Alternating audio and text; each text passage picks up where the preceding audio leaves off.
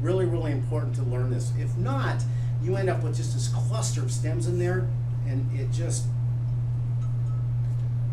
this is a different. It's called a the other the technique is is a grid work, and and it has its purpose too. But see, you end up with a bigger cluster in the center. It's a little bit harder to work with. So when you're placing your carnations, keep that in mind. You place the first one. You don't have to think about it. Do the same insertion every time. Underneath that last stem. Go between the vase, underneath the last stem. Because you won't be able to see it very well when you get the foliage in. But if you can do one, you can do this, the other six. There you go. And then the four, if you look down in there, you'll see little V's that have formed. The next four will go right down into those V's. And that will help hold them into place. Last one goes right into the middle. I'm gonna skip a little bit because you have to see how the, the, the grid work works on this. Now, you can take pieces of tape over and make a grid like this on the base. Yeah, if you're struggling, there's floral tape that you can take and create a grid work over the top of the base.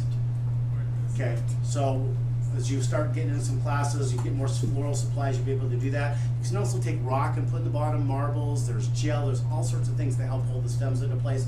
Today we're gonna use the basic, which is gonna be the leather fern. If you can hand me a couple pieces of the leather fern, that is bunched up right there. Thank you. Time, okay, we'll do this in about four minutes here. Okay, leather fern. Just gonna put this in. Notice how I'm getting the V's down in the water. We don't, we don't want it up here. Get that V down, we don't want it in the water level, but we don't want it sticking way out here. This has a natural tension to it that will help hold the flowers together in your vase, okay? You can really look at it in the, in the finished bouquet here. If you look up close, there's a little bit of greenery right down to the neck of the bouquet. Don't get it all the way down in. You know, if it's a little bit long right now, that's okay. We'll come back and I don't, Leatherfern's not my favorite foliage, but it serves its purpose. We can come back in later and pinch these off and give it more of a round shape. So notice I, I just get a little grid work. I might take one or two pieces down here in the middle just to help hold it into place. Okay, pass that back to you.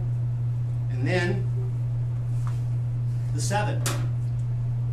One insertion, turn, sort of lift the leather fern up, go right underneath that last stem, lift the leather fern up, go underneath. Everybody see that okay? Lift the leather fern up, go underneath, lift, under. These were just cut. I would recut those every time, but for expediency, we're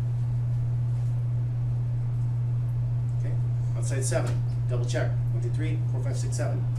Middle four. Two.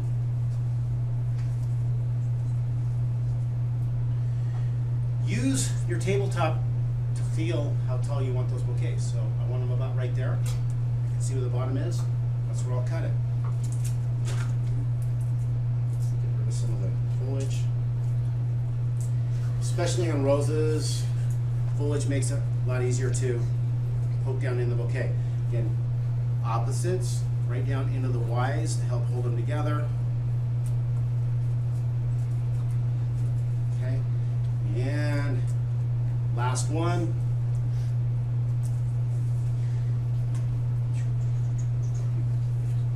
Again, really tight to open these up, little trick.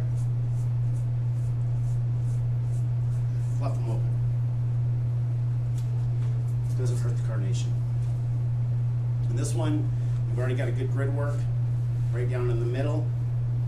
That's it. Now when we add the accessory flowers or the filler flowers, I don't like to call them filler flowers. The industries call them accessory flowers, accent flowers, because filler flowers, what can I charge more on? Accent flowers or filler flower?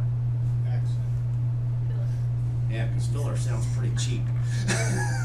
and flora, as florists, they don't, they think of it as filler, they don't put a value to it. And this isn't free. okay? The aster isn't free. So we want to, again, it does accent the bouquet. Now, we would just go in, again, same principles, I want you guys to get started on this, the same principles, when I, um, when I start to go in, I won't start at the top, you start adding your accent flower, grab a couple of these, the Montecasino or Aster. I just did one technique, so I'm not gonna reinvent a new one. Where did I start at last time? Top or bottom? Yeah, bottom. So I'm gonna come right in the bottom and do the same thing. Following that same, that same, uh, look at my angle there. Same angle on the spiral. Right in. And then, next step up. I don't have to go seven of them. Step up, work up into the middle. Then I could add them, the other types of filler, baby's breath or tree fern or what have you. Okay? Get the idea? All right. Cutting techniques. How many need help with knives? I see lots of grins. Okay. Let me, let me take, let me take just for everybody, since we have a majority here that needs class. Everybody, take their knife. How many right-handed, how many left-handed people do we have? Anybody? Okay. That will help you, show you how to cut. And, and again, I also instruct martial arts, so you'll have sort of fun. Uh, You don't cut with your fingers. Watch, everybody, hold your knife in your right hand, just, just in your fingers, just like this, four fingers. Notice the blade is up into my pointer finger. Okay? It's nice and relaxed. This is what you adjust the angle of the blade with.